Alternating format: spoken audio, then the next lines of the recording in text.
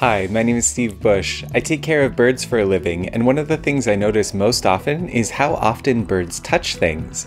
They feel food with their beaks, they scratch around in the dirt. But how much can they sense by feeling something? Let's find out.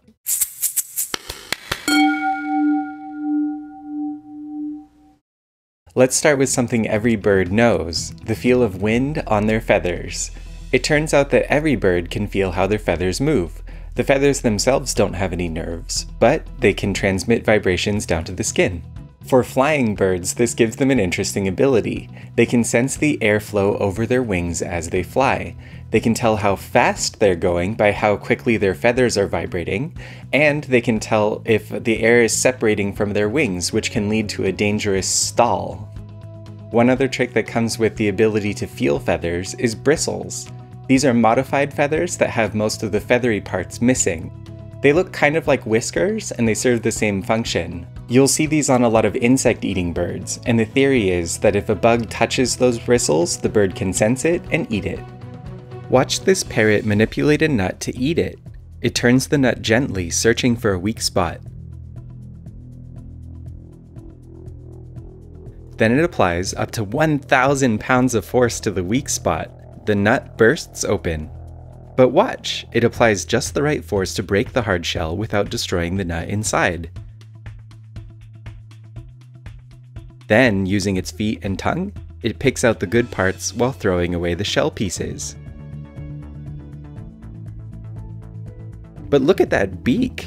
That is a huge beak, and it's right in the way if the parrot wants to see what it's doing. How does it know where or how hard to bite? There's a row of sensitive dots on the inside edge of the beak. These are small openings that let bumps of skin poke through. The bumps provide a sense of touch to an otherwise hard beak of bone and keratin. But parrots aren't the masters of touch. There's one bird that has it all. The kiwi is a nocturnal hunting bird. It has the ability to feel wind with its feathers, even though it can't fly. It has bristles to feel for prey and it has traded the sense on contact sensors for upgraded ones that can feel at a distance. The kiwi hunts by probing its beak into the soil. If a bug is crawling around in the soil, it can feel the vibrations and know which direction to hunt. If the bug hops away, it can feel with its bristles. If the bug stays still, the kiwi has unique nostrils that go all the way down its beak, so it can find them by smell. You can't run or hide, bug.